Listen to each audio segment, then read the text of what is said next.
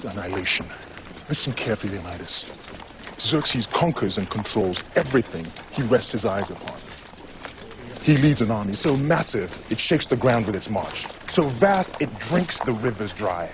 All the god King Xerxes requires is this a simple offering of earth and water, a token of Sparta's submission to the will of Xerxes.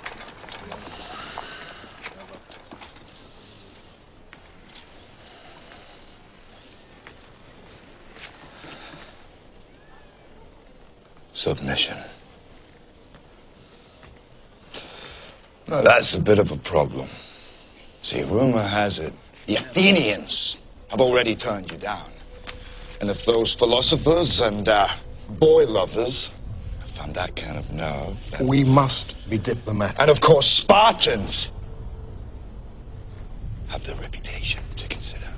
Choose your next words carefully, Leonidas. They may be your last as king.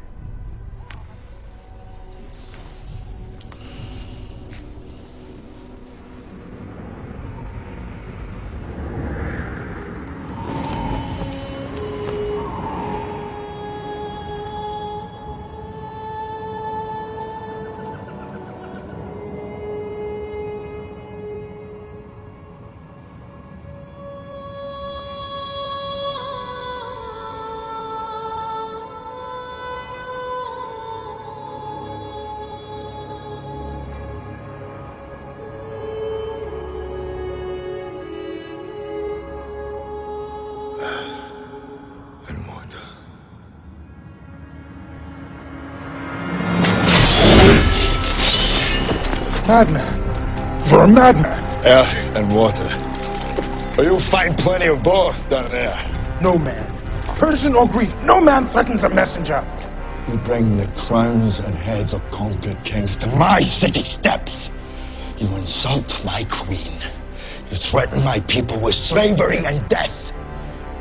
Oh, I've chosen my words carefully, Persian. Perhaps you should have done the same. This is blasphemy. This is madness!